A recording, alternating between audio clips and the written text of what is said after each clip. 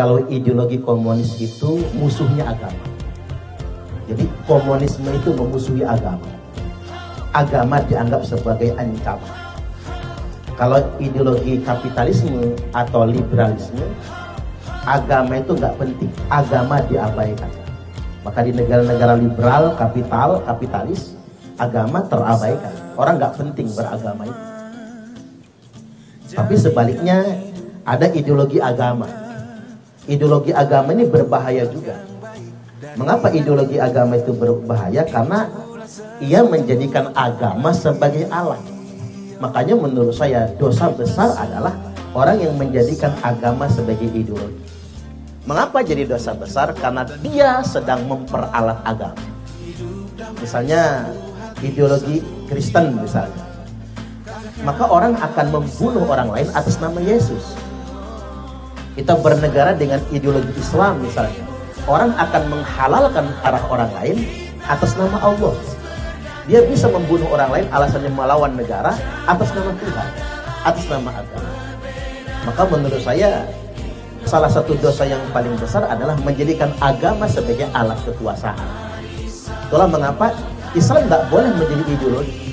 Jadi kalau hari ini ada kelompok-kelompok yang mengusung ideologi Islam misalnya, apa pun nama kelompok itu, entah MII, entah Khilafatul Muslimin, ISIS, ya, Al-Qaeda, dan kelompok-kelompok teror yang lain ketika mereka menjadikan agama sebagai ideologi, menjadikan Islam sebagai ideologi, itu sama saja dia sedang memperalat agama. Dia sedang memperalat Islam. Bahkan dia memperalat Tuhan karena dia ngebom, dia menghalalkan darah orang lain atas nama Tuhan, atas nama Allah. Ini kan dosa besarnya di sini. Lagi pula memang Islam tidak boleh menjadi ideologi. Islam kalau menjadi ideologi, ide itu kan gagasan manusia. Berarti merendahkan Islam itu sendiri, menyamakan Islam sebagai gagasan manusia. Makanya mengapa Al-Quran tidak boleh menjadi konstitusi? orang NII, orang Khilafatul Muslimin, orang HTI, Hizbut Tahrir ya. Kelompok-kelompok radikal itu ingin menjadikan Al-Quran sebagai konstitusi. Sebetulnya dia sedang menghina Al-Quran. Bisa kita sebut dalam tanda kutip penodaan agama, penistaan. Karena mengapa? Yang namanya konstitusi bisa diamandemen. Jadi kalau Al-Quran dijadikan konstitusi, Al-Quran bisa diamandemen. Berani nggak mengamandemen Al-Quran? Alangkah kualatnya kita kepada Allah Subhanahu wa taala. Dan memang merujuk kepada ajaran Islam itu sendiri. Nabi hijrah dari Mekah ke Madinah bikin negara. Negara pertama waktu itu.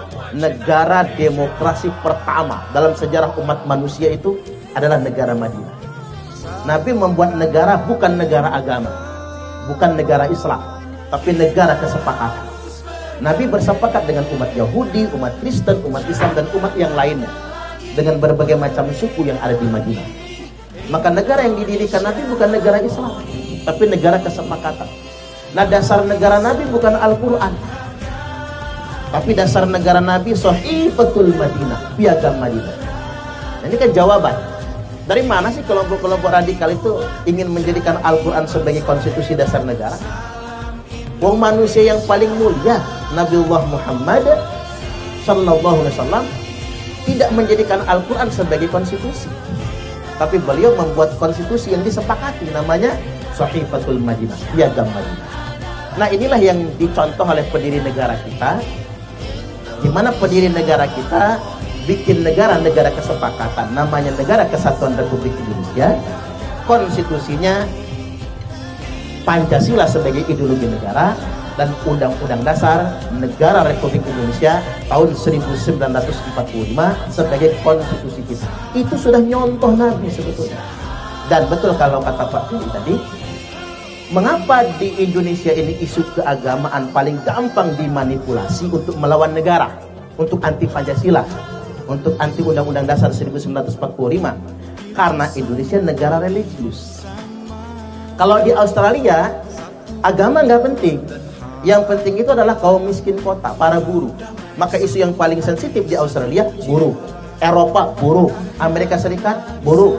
Paling tentang kulit putih, kulit hitam yang paling sensitif. Tapi Indonesia karena negara beragama, negara religius, maka isu yang paling sensitif bukan isu buruh. Makanya kadang-kadang mohon maaf dalam tanda kutip demo buruh agak diabaikan masyarakat. Tapi kalau demo 212 rame ikut. Karena isunya bukan buruh, isunya agama. Maka yang paling potensial kalau ingin merusak Indonesia pakai bahasa agama. Makanya hati-hati dengan orang yang menyampaikan agama yang sudah dimanipulasi sedemikian rupa, apalagi agama diarahkan untuk melawan pemerintah yang sah. Apalagi agama diarahkan buat melawan negara. Hati-hati. Karena itu adalah strategi untuk menghancurkan bangsa Indonesia. Kami adalah Laskar Sabilillah Pecinta Wali